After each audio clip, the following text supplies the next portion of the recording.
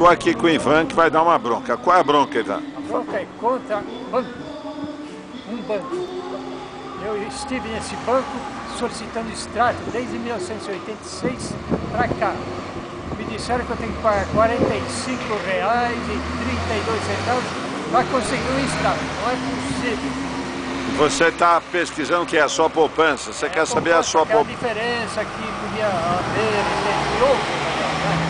Que havia uma diferença que você poderia reaver. É, porque na época parece que deu 30 e poucos por cento e, e no jornal constava 84 por cento, sabe?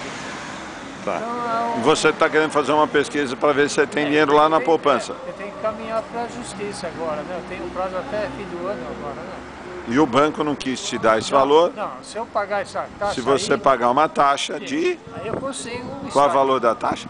45 e 32, parece uma coisa Quer assim. dizer, você tem que pagar uma taxa para ele fazer eu essa pesquisa. Não é possível uma coisa dessa. E você está dando a bronca. Ah. Quer dizer, você não quer pagar uma taxa dessa para fazer essa pesquisa.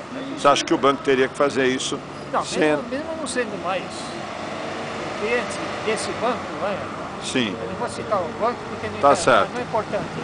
Ainda dá Tá certo. regalia para eles, não pode, né? tá certo. Então eu estou.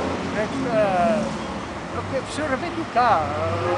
Pelo menos, pelo menos eles me darem uma satisfação se eu tenho direito, não tenho, né? Tá certo. Obrigado pela sua bronca.